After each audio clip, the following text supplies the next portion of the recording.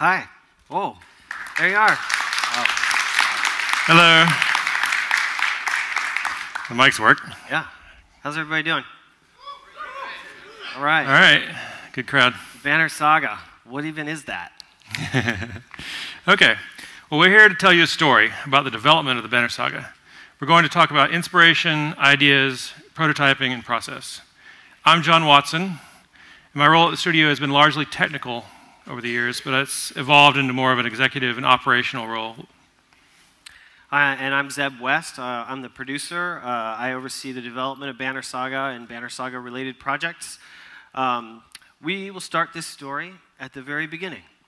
Uh, the ideation of the saga between the founders of the studio, John, Alex, and Arnie.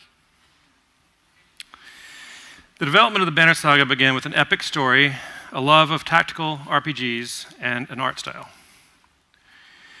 We were interested in making something in the style of the 20th century master painter Eyvind Earle. Eyvind Earle, you, you tell this. Eyvind Earle, uh, as well as being a painter and illustrator, was art director at Disney starting in the 1950s. Uh, he made his home on the coast of Northern California in the Big Sur area. His paintings strongly incorporated the dramatic scenery and plant life around him. These are all uh, independent works and not done for Disney, but the stylistic elements are clear.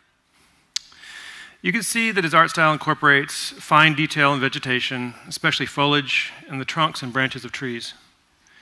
He often uses a very shallow angle of sunlight, rendering the long dramatic shadows of early morning or late evening.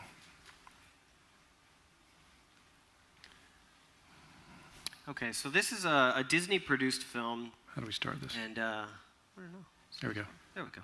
You can see Eyvind uh, rendering a tree uh, from life.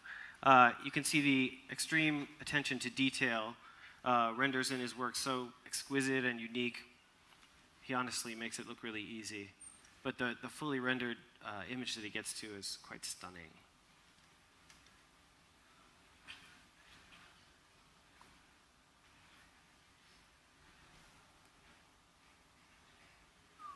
So this was the style that, that our style target. Quite a high bar for our art director, Arnie. Uh, here's a set of images, both from concept and production, of the 1958 Disney film Sleeping Beauty. Uh, Eyvind Earle was the art director on this film. Uh, Sleeping Beauty is a very important film for me. Some years before the inception of the Banner Saga, before I knew who Eyvind Earle was, I watched Sleeping Beauty with my, as an adult with my young daughter. And I was absolutely blown away by what I was seeing on the screen.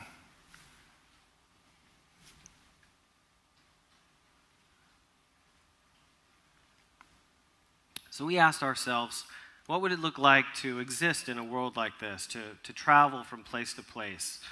Uh, we had a game design idea that involved traveling across this landscape. Um, to find out how we felt about this, we created this very simple prototype of a world travel scene through a grove of Eyvind Earle's eucalyptus trees.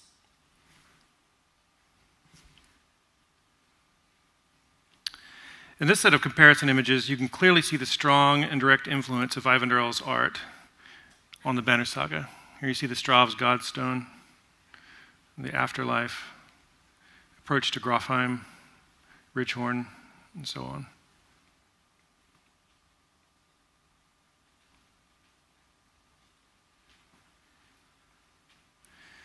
So once we'd honed in on and uh, prototyped that visual style, we sort of set to work.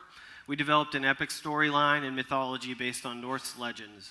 Uh, for practical reasons, we split the saga into three acts and then began working on the first of these acts. Our influences were games like Final Fantasy Tactics, and we wanted to extend upon that style in combat. We saw one of our largest technical and design risks as the battle system, so we quickly began combat prototyping. We created several touchpad and PC based prototypes to figure out exactly how we wanted the UI to work. Here you see a functional combat prototype using just the keyframe master poses of the various characters before they were animated. And that really good programmer UI that I, I made by myself. I can't believe that didn't make it into the final. Yeah, it was good. It's really good. Okay, so the technology stack for Banner Saga began in uh, 2011. Uh, who in here was using Unity 3 back in 2011? Okay. Anybody using Flash and Adobe Air back then? Okay, so a few people. Uh, we prototyped our combat system both in Unity 3 and Adobe Air. Um, at the time, Adobe was pivoting away from browser-based Flash because of smartphones and investing in Air, which Air allowed you to package ActionScript bytecode into native applications, both on desktop and mobile. And we ended up using Adobe Air for several reasons. Uh, our hand animated characters were imported and rendered directly into the platform. Uh, later, these were optimized into sprite sheets, but we were able to get up and running really quickly with the art style.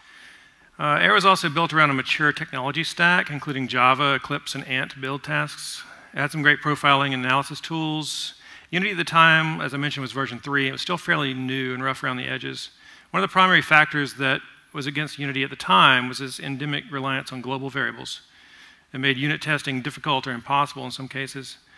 Uh, obviously, in the seven years since then, Unity is now well known and loved, and Air has receded into obscurity.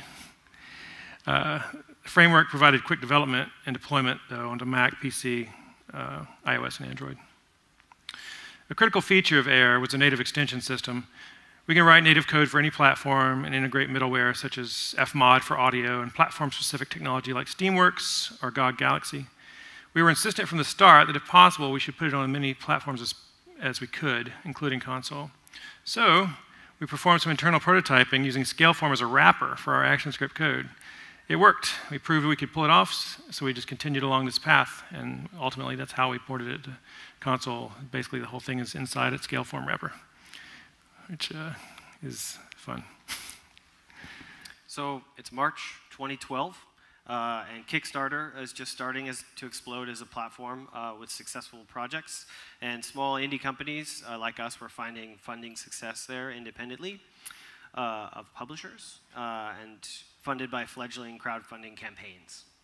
And although Arnie, John, and Alex actually started the company with their own savings, uh, we had kind of a wildly successful early Kickstarter, uh, which allowed us to expand the scope of the game uh, into, to include uh, a fully orchestrated classical soundtrack and uh, a world class sound design team. We were also able to get way more 2D animation by enlisting Powerhouse Animation Studio. Our, that was our biggest bottleneck in time sink because these animations, it takes like a person month to do one set of them for one character. Um, getting help with that was critical. It also allowed us to record uh, authentic Icelandic voiceovers in, uh, using Syrland Studios in Iceland. Uh, the biggest reward from the Kickstarter was connecting with 20,000 fans, fully, fully invested fans who'd rallied around the dream of this game. Oh, I don't think we played that. No, that's fine. Okay. John looking young and handsome on our Kickstarter. Yeah, so many years ago. Uh, so our first development goal was factions. Uh, factions is something we promised early on during Kickstarter. It's intended to be a multiplayer demo of the combat. It's funny because some people gave us heat for releasing factions first instead of the full game, even though we had promised it that way. The Banner Saga can be decomposed down into several key systems. Uh, so the systems in our game are the branching storyline, the travel in, through epic landscapes, like you saw in the prototype, uh, city exploration, including camps and villages, uh, character progression system, which is what makes it an RPG, and the battle system, uh, which John talked about earlier, mm-hmm. and then ultimately the supporting AI for that battle system. So for factions, we chose to focus primarily on battle. Uh, our turn-based tactical system was inspired by other games, but we were taking some new design risks, and we needed to prove them out. So we decided to decrease the risk to the project. We would focus on the combat first. And instead of tackling AI immediately, we decided to make the combat network to multiplayer instead so we can engage the audience and get more direct feedback and bog down in AI. Yeah, Factions gave us the opportunity to develop combat with the help of this huge uh, Kickstarter community uh, that was just engaged and interested and like we were thriving off of their feedback and they loved kind of having input on the game. Um, it was essentially, it predated Steam early access, but that's exactly what it was. It was just kind of like DIY. Uh, which would tell yeah, we, we, we asked Steam for something like that, and it wasn't available yet. Yeah, they're like, hmm, we'll think about that. Um, yeah. Okay. Um, so during this process of making factions and building these, this, this subset of the game, we were able to start iterating on our tools. Uh, tools for building interactive cities. Uh, interactive cities are a broad category. It includes things like villages and camps as well, and unique locations like godstones. You can build out all of the, the appearance and the behavior and everything in this tool. Uh, here you see the same in-house uh, editing tool with the city. Um, this is Strand, the first city you see in the first Banner Saga.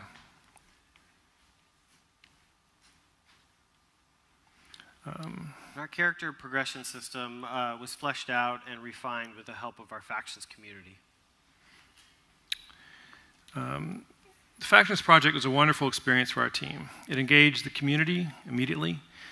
Our initial Kickstarter supporters latched onto it, and a bunch of new players as well came in. Seeing their feedback, responding to it, and collaborating with the players is very satisfying. It really was early access at its best for us. Here you see the battle editor in the tool, setting up animations, battle spawners, the works. Sorry for the Banner Saga 3 spoilers. Yeah, this is a scene in Banner Saga 3. You might recognize it. Uh, so the tool that you've been seeing uh, is our kind of all-encompassing content tool used for editing almost every aspect of the game. It's called Zeno, after the ancient Greek founder of the school of philosophy known as Stoicism. Uh, Zeno has numerous content editing features, and it's built around a core piece of the pipeline, which is our in-house asset compiler. Aside from binary data such as animations, images, and sound, the game's data and logic are almost entirely expressed through hundreds of structured JSON files.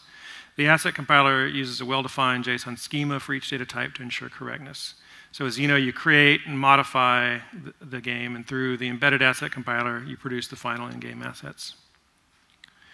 Our automated build pipeline uses the asset compiler as a standalone and headless application that is driven by Ant scripts, which run on a Jenkins server. Uh, carefully managed asset manifest contains the directives that drive the asset compiler, which is the list of files to compile, what compilation methods to use on them, other flags that affect the output. So we have different outputs on different platforms. It compiles the animations differently on console, for instance, and the videos are differently encoded on console and mobile. Um, here's uh, Zeno's travel spline editor padding over a giant scene from Banner Saga 3. And this is where the designers hook up all their logic and uh, the artists lay out the scenes. So let's talk a little bit about server stuff. Um, our server architecture for factions was fairly simple, but it scaled pretty well. The game client had a well-defined set of messages, requests, and responses that could be sent, received, and executed remotely, and these are all structured JSON, JSON messages. The game servers were all HTTP, written in Java, and deployed into the Heroku system. Heroku is a very easy-to-use service for deploying and scaling HTTP services. It supports a wide variety of languages and technologies, not just Java, but everything that you would want to use. Um, additionally, Heroku hosted a set of worker servers. These servers handled tasks such as chat, login, and battle. The architecture allowed us to combine several or all worker servers into a single process. During times of light load, and during times of high load, we could separate and duplicate worker servers to scale horizontally. Uh, the battle worker was the single most demanding worker and the one that was most likely to be scaled out or duplicated. And behind the scenes, persistent data were stored in a MySQL database hosted on Amazon. And all the message passing was done with a message queue service or system called RabbitMQ, which ran inside an Amazon EC2 instance. Um, one of the very successful techniques we employed was to allow a single game client to host multiple client sessions at once. So we wrapped each session with what we called a game wrapper and rendered each session as a split screen area and then communicated communicated with the server normally from both. So you could play, you know, against yourself or anything. You could test out playing both sides of a battle, observing remote effects. You could do as, you know, split it as many times as you wanted, as many times as your computer can handle. And we went a step further and embedded a very simple simulated server into the client application itself so you could test battle synchronization and core networking totally offline. And I cannot overstress the usefulness of simulated systems like these. And for the narrative portions of the game, uh, we wanted a conversation system that supported player choices and branching dialogue. Inkle uh, created a tool called Inkle Writer, uh, which is kind of an easy to use graphical interface for creating branching story content. And while this interface was great for us for the first two games, uh, we found that we wanted the flexibility of creating our own version of that tool. We use the underlying tech to create StoryWriter. StoryWriter is based on loosely on the newer Inkle open source technology called Ink. StoryWriter solved the problems of being connected to the web interface and gave us the freedom to continue to tailor the tool to the Banner Saga. It's Wasn't- actually, yeah, It wasn't as pretty though. that's that's that's StoryWriter. I had the wrong slide. This was way prettier. And then we, this is Zeno again. Zeno has a system for keying and tagging audio, music, and other events with the, uh, with the dialogue, so you can have some cool dramatic effects. Okay. So we started out this whole project seven, almost seven years ago with just three of us working in a rundown shack in Austin, Texas. This is nothing more than a small storage room in an abandoned livestock barn. We called it the Goat Shack. Uh, during the development of factions, we employed several contractors for a short time, but eventually the three of us had to abandon the shack before it was demolished. We moved into a place called the Swamp Shack Big upgrade. due to its pervasive odors and finished the first game. Uh, shortly after the completion of Banner Saga 1, Alex, one of the founders, left to pursue another project. We brought in a technical designer and a writer and began working remotely. I moved out of Texas and went to Seattle, and the entirety of Banner Saga 2 was created in a completely remote manner with all four core team members uh, in different locations. And as the project of making the final part of the trilogy progressed, um, we identified areas in need of improvement in our internal process. Uh, we reestablished working spaces, this time both in Austin as well as in Seattle. We hired more designers and artists and programmers, and Banner Saga 3 is completed with 14 uh, core team members now. And the success of the first game on Steam uh, was kind of beyond the team's original expectations. Uh, so it was now clear that the game was viable for other markets. So porting and localization of the Banner Saga became its own full-time project. And as we've increased our team capacity over the years, we've improved our velocity and reliability. So this chart, the numbers are years. So 2014 is the Saga 1 launch right there. And when we made the first part of the trilogy, we launched in English only, only on Steam. We worked on localization and porting afterwards, as you can see there, going almost to um, uh, 2016, actually into 2016. Um, console porting that first time took us two years to complete. Yeah, all, and you know, trickling out the localizations, all that really accomplished was irritating people who were in like the second and third wave of please translate. Yeah, for, for Banner Saga 2. Uh, For Banner Saga 2, you see we pulled in um, console mobile localization much closer to launch. And then finally, for Banner Saga 3, we're going to, for the first time, launching everything simultaneously on all the platforms. Mobile is going to come later, but local, all, the, all the supported languages, um, uh, PlayStation, Xbox, and Switch. That's a big milestone for us. Being able to pull that off is uh, extremely difficult. Yeah, that's been a, a, a substantial challenge for our team, and it's satisfying to see it start to come together. Um, on the chart here, you can also see that we've been busy updating Saga 1 and Saga 2 with Chinese translations and publishing, as well as porting to the Nintendo Switch. Also not shown on the chart are two major Kickstarter projects that we ran, several other PC platform launches like GOG Galaxy, Twitch Prime, and WeGame. Um, this is a month, uh, the time scale on this chart is, a, is in months from launch. You can see that where Saga 1 launched at month zero, it took us over 24 months to reach the console release. Chinese and Switch are actually way off the chart to the right, so I pulled them onto the, as close as I can. They actually should be farther out. For Saga 2, a side by side comparison shows how much more quickly we were able to execute on porting and localization and bringing it in. And then finally, Yeah, finally, for Saga 3, you can see that almost everything has been front loaded for a day and date launch. Um, and these are the, these are the process uh, improvements we've been able to put into effect. Um, there's many contributing factors. I credit our continued investment into our technology and the ongoing help from our partners and help from our publisher Versus Evil.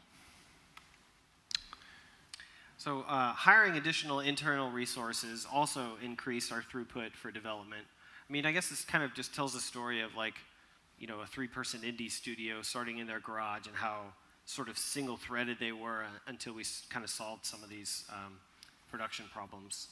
Um, and sort of allowing us to the full-scale production phase for Saga 3, uh, even though we did a full reset of the story in spring of 2017 to kind of to be completed uh, in under a year.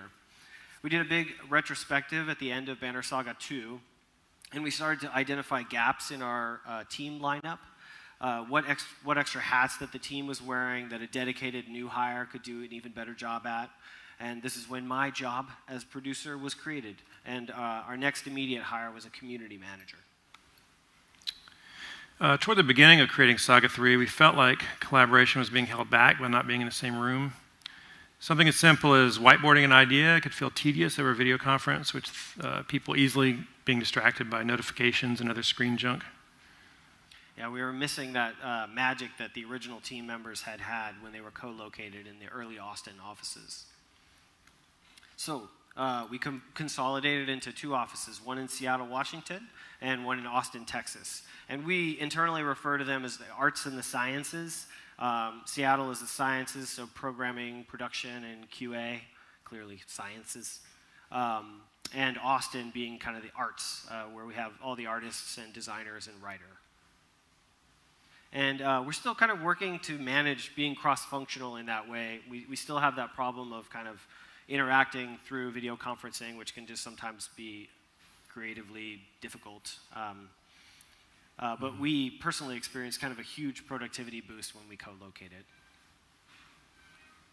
We also uh, invested in leveling up our tools uh, from some indie style stopgap solutions to more robust long term solutions. Um, at, first, at first, the volume of customer service tickets that we got in was manageable through distribution lists and filtering in Gmail. Uh, but uh, as more platforms and storefronts and multiple games were added to the mix, we quickly needed a more robust tool like Zendesk. Um, and so that's what we moved into. And one of the best things about Kickstarter is that it assembles your most highly engaged fans. Um, and we had 20,000 backers from the first Kickstarter, and uh, we were able to migrate most of them into a MailChimp uh, so that we could keep our most invested, um, keep them in, invested in Stoic's growth and in our new projects, development updates, and new platform releases. Uh, for Banner Saga 1, our Kickstarter backers and fans congregated in our own custom forums.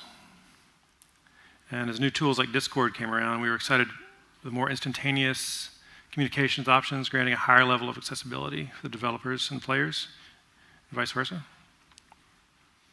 And uh, we, we made one mistake that we identified, um, letting our community kind of wither between Saga 1 and Saga 2. Uh, the team thought that the best thing that we could do was just put our heads down, go into hiding, and just crank out Banner Saga 2. Uh, but the result was that many of our fans didn't even know Saga 2 had come out. So, to fix this going forward, we hired a community manager. This is Katie, and she's great. We can't recommend this enough. It allows clear messaging, uh, managing backer issues, monitoring the pulse of your community. And Katie also uh, assembled our most devoted fans into a, a, small think tank that we call the Conclave. Um, and it's just kind of a private Discord group that we chat to, uh, and they help monitor and moderate our community to kind of help set a positive tone and um, for the rest of the community. Yeah, we've always been very lucky with our community. I think it's uh, largely pretty mature, you know, people who are sensible and reasonable, and they all love the game, and they we've been really happy with that. So after Saga 2, uh, we decided to consolidate all of our bug and task tracking into Jira. We were using a tool before that called FogBugz, um, which was great, but we just uh, once, once we were in Jira, we increased our discipline around epics and task tracking in order to better manage multiple and parallel projects. We're in the. Uh, I was I was reading the little tasks on the on the uh, on the FogBugz thing. They're pretty funny. Uh, so right now we're in the process of integrating Jira with Smart Sheets in order to have a more roadmap view of projects and resources uh, projected further out into the future while we work pretty agile as a development at the development team level. Uh, like many companies and kind of growing into a mid-sized company, we sort of need a higher level of planning where we want more of that Gantt style roadmap view uh, where we can kind of see how resource changes and delays uh, will impact other projects. Well, building this saga has been one of the most challenging and rewarding things we've ever done. we are actively improving ourselves for the long term. And improving our tools and doing smart hiring has opened up our production bandwidth. Uh, not only did these things help us finish the Saga trilogy, but are serving to set us up to transition into Stoic's next epic adventure after the Saga. So, to wrap this up, we want to present you with a little highlight video that we made, and we think you will enjoy.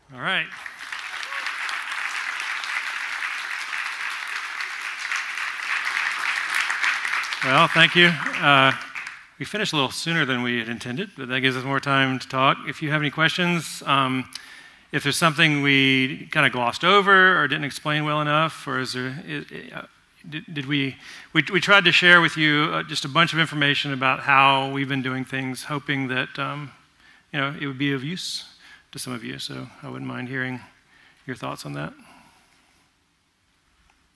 you need to see any of the technical diagrams again? Yeah, we have lots of technical diagrams. Show you those. Uh, hi. Uh, I have a question. Uh, how many frames of animation you have per second in the animations in the game? Uh, we it's animated at 30 frames a second, but a lot of it is done on twos, so it, it, it kind of varies. So by by default, I guess around 15 frames a second, but for certain actions, uh, there are more frames for certain motions. So the average frames per second is probably more like 19 or 20. But it's rendering at 30 frames. All, the, all those uh, combat animations that you see in the game are all, they're all rotoscoped. We did that for several reasons. One of them was to kind of get a retro look. Um, we wanted to be able to basically act out the, the moves on camera to show the animators what we wanted, because we thought that was the best way to communicate uh, with them. Uh, so we would, it was us basically acting them out in Arnie's front yard. So I'm all the dredge, all the, all the enemies are me. Um, Arnie is all the, all the human male guys, Alex is all the Varl. Uh, Chailey is all the, the archers and the horseborn and uh, Juno and Folka as well. And so we sent all that we, we, we would take all that video, uh, edit it, edit the video to get the, the kind of timing we were looking for. Then Arnie would paint over the first frame, and then we'd let Powerhouse do the rest of the keyframes and all the in betweens. So it's a very, very labor intensive way to do it, um, rotoscoping, but it gives it, it gives it kind of a unique look.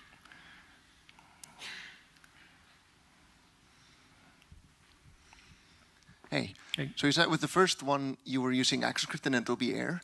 Mm -hmm. Are you using the same or something different for the second and third game? Same engine, same technology. It's, uh, it, I mean, it has. We've we've built a lot of features into it. It it's like a million lines of code. It's got all kind of stuff, and it works well. Like the only, the, the the problem is that you're at Adobe's mercy. You know, if they introduce a bug into the black box of Air, um, then you're kind of screwed. And We haven't really had that much problem with that. We've had problems with it on mobile, more so, on Android in particular. Like uh, a version of Air just stops working on Android, and then you have some devices that work. But on PC and Mac and iOS, it's been fairly stable. They, they update Air about once a month, so they're always fixing bugs and and um, uh, you know making it compatible with new platforms. So it's not totally dead, but um, yeah, it, it it is uncomfortable being at the mercy of a black box like that. And that's, that's one of the worst things about it. But overall, the engine's very capable, so we have all this game logic, so it didn't really make sense for us to change. Also, for making the trilogy, it was very important to us to make all three of them fit together like one big game. Like you should be able to play them all back to back, and it feels like one game because it's really one story. And we really don't want to, didn't want to have some kind of discontinuity any kind of technology change would have caused a discontinuity in, in the look and feel and everything else. And I don't think there's any way around that unless you're really, I don't know, it would be hard to match. Yep. Hi. Uh, uh, you showed us a lot of the tools you use, and they're very interesting, fascinating actually. Uh, what I want to ask can you give us an example of the, the process? The, for example, the creative process from idea creation to an asset, from just an example, uh, where you could, for example, uh, tell us like I use okay. tool in this tool in there, and then like, or something like that, just to connect it a bit better to what you're actually okay. making. Well, uh, I talked a little bit about animation, and I can expand on that animation part a little bit. The animators would animate in Flash, so they produce these Flash files, and then our compiler uh, basically compiles them into sprite sheets, and then the Zeno tool you see there allows you to inspect them and tag up the frames. So the, the various frames have all sorts of tags on them for special uh, sound effects, footsteps, uh, and all the um, moments when impacts are supposed to happen and things like that. Um, then making the landscapes is a different process. It's done basically in a series, you know, from, from concept to completion. In Photoshop, uh, we have one of our typical landscapes has about seven layers of parallax, sometimes more, but about seven. So all those layers are built in Photoshop, um, and then we have a script that exports them uh, basically into PNGs, PNG layers, and then those are loaded into Zeno. And then in Zeno, you take those layers and you configure the parallax, how fast they move against each other, how deep, how far into the background or foreground they are. And then, uh, then once they're in, Arnie can, Arnie, whoever's doing the art for the scenes, can you know, re-export them from Photoshop and re-import them into Zeno at any, any time. So that's two things. That's landscapes and that's uh, animations. Um, you know, design is done uh, also aside from you know design, designing the, the, the, the, ideas for the abilities, which we kind of do in a collaborative manner. I mean, the designer, like Matt, has been our designer, our main designer for several years, and Alex before him, and they kind of come, they, they, they sort of present, come up with the core ideas, but it's for an ability, say, or a new class.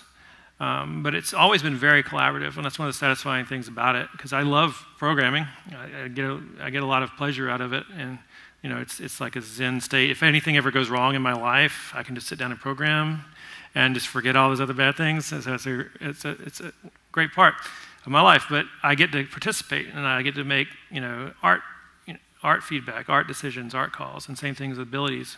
Because it's very very collaborative with abilities in particular because you know, oh, I want this ability to do this. It should affect you know, these people come near me, and it should put this buff on them.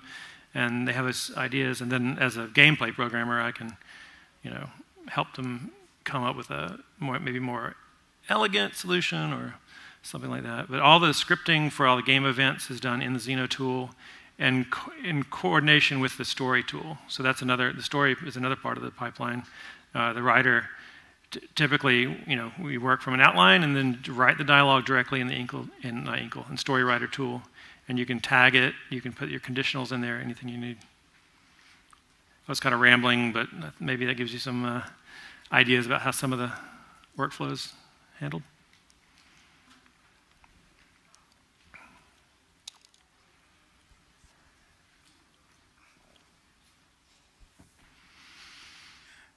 Hi there. Um, I'm curious about your uh, separation of engine and data.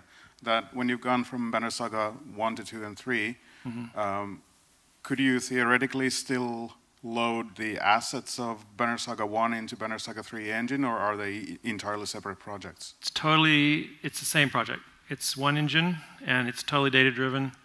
Um, so in fact, we do build all three games off of one version of the engine. I mean, we have different versions in source control for like supporting a live branch that's out on Steam right now.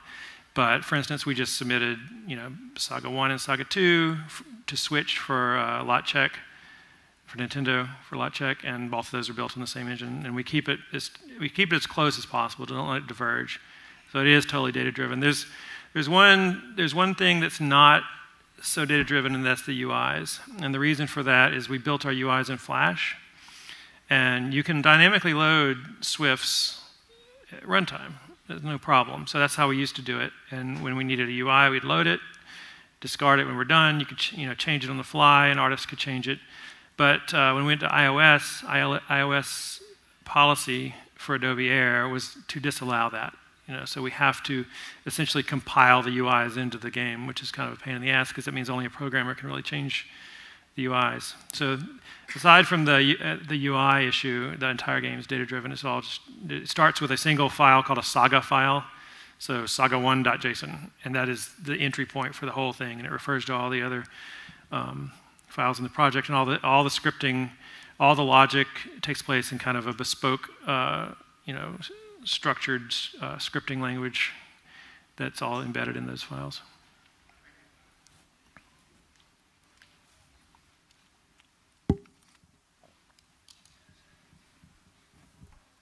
Hello. Um, so your game is quite art heavy, and I was wondering uh, for mobile how you could squeeze all those PNGs uh, memory wise.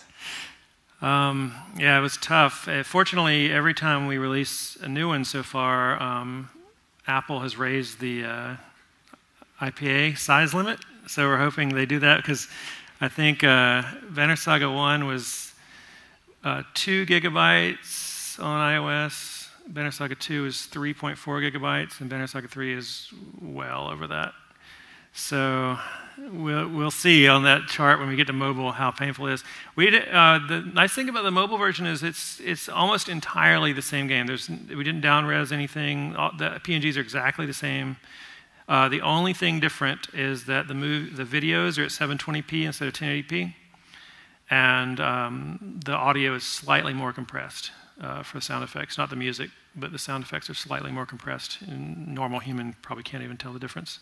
So it, we're, we're proud of that, you know, that you can play on your iPad Pro and it's the same experience. Like you put on your headphones and you're getting the same experience on that platform, even though it costs half as much. Last question. Uh, hi. So uh, I've been wondering since it's three games uh, over a long period of time um, and very story heavy. I was wondering how much of the story was sort of planned out from the beginning and how much has it evolved over time. Um, the the large scale arc of the story was planned out from the beginning. So you have this catastrophe in the world and the dredge reappearing and all these things happening. So the reason for that happening and where the story is going and how we're going to how that's going to resolve what, are, what we're going to reveal to the player has been known. So the, the secrets behind this catastrophe and the overall structure of it. Um, now of course when you start writing each part the, the, the, you know then the details start coming out. Like new characters are introduced like Rugga as a key player in saga 2 and will be in saga 3 it wasn't it ever in the design originally. He just kind of uh, you fled Boersgard, and there was this governor who played like a tiny role, and like, well, maybe he maybe he resurfaces and starts trying to exert his power. So that's an example of details coming out when you're fleshing out the, the story, for, you know, getting from A to B.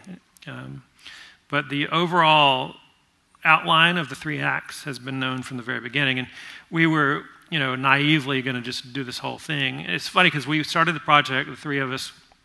We figured we could live for about a year on our savings going to make what we can in a year. It's going to be, you know, it's going to look good. It would, it, would have probably looked the same fidelity, way less content, way shorter game.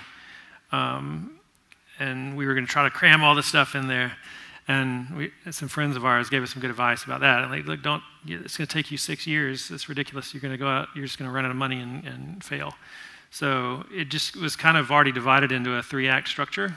And, and that's what we did. It's like, okay, let's tackle this first one. And uh, if, it, if it does well, we'll continue.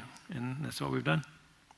Yeah, one of the crazier parts about the storytelling is that it's branched. Um, so we have to, you know, sort of create the conspiracy theorist like crazy map on the wall, you know, with yarn of like, oh, well, what if this guy's alive and she's dead?